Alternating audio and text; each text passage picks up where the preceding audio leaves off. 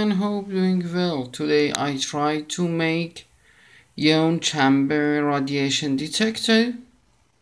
It is very simple. I used one MCP 6241, one can and multimeter. This is my ion chamber. Usually this ion chamber using for the uh, smoke detector like this this kind of detectors working with ion chamber and especially coming with some ICs designed for the smoke detector. Mine is MC405010P.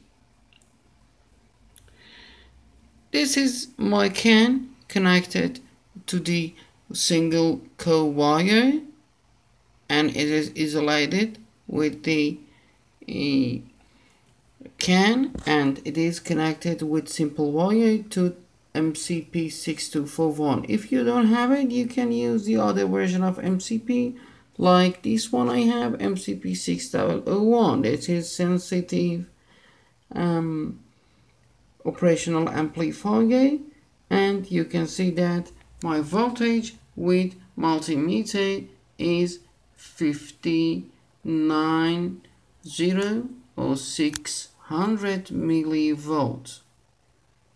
Here is my input voltage 5010 and you can look when I'm making close the ion chamber to the uh, project.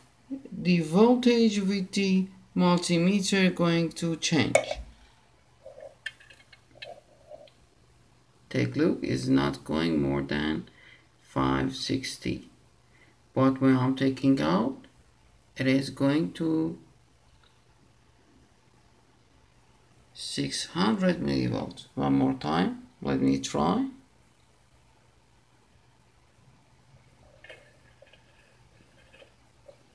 Well it's going down to 545 15 millivolts. But when I'm take out the ion chamber is going up to 600 millivolt.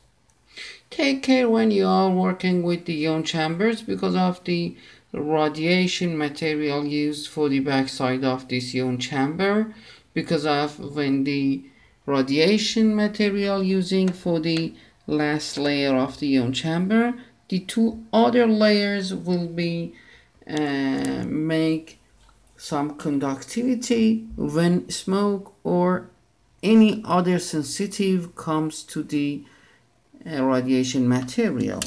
So um, this is very simple. It is very good if you cover the can with the um, soft sealed or any other cover to um, voltage stability.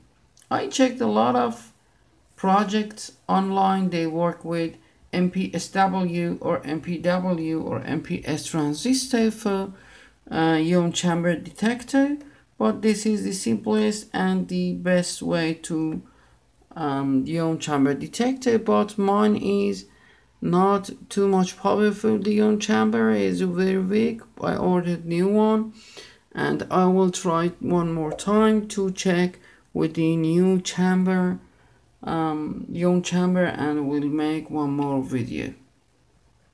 It is going down.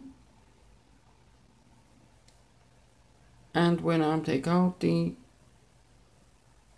ion chamber is going to 560 570 sometimes 600 milliamp millivolt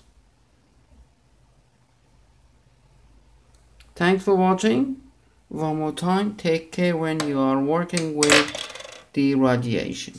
Goodbye